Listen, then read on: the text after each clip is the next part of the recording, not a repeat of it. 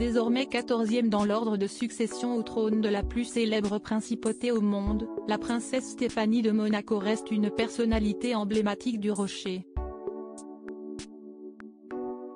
Il faut dire que la vie amoureuse de l'interprète du tube comme un ouragan ont beaucoup fait parler, surtout dans les années 1990 et 2000. Closer vous propose de découvrir combien de fois la princesse Stéphanie de Monaco a été mariée dans sa vie. Au début des années 1990, la petite sœur de Caroline et Albert entame une relation avec Daniel Ducruet, qui est alors son garde du corps. De leur histoire, d'abord secrète, naissent deux enfants, Louis en 1992 et Pauline en 1994. En 1995, ils obtiennent, non sans difficulté, l'accord du prince Régnier III, le père de Stéphanie, pour se marier. Ils s'unissent alors civilement le 1er août.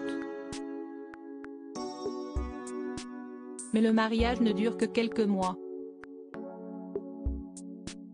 En effet, en août 1996, des photos volées de Daniel Ducruet embrassant une stripteaseuse belge, seins nus, au bord d'une piscine conduisent le couple au divorce. Une fille née hors mariage et un mariage qui dure à peine un an Stéphanie de Monaco fait alors la rencontre de Jean-Raymond Gottlieb qui a, lui aussi, assuré sa sécurité. Il ne se marie pas mais donne naissance à Camille, en juillet 1998. Comme ses parents ne sont pas mariés, cette dernière n'apparaît pas dans l'ordre de succession au trône monégasque au contraire de Louis, XVe, et Pauline, XVIe.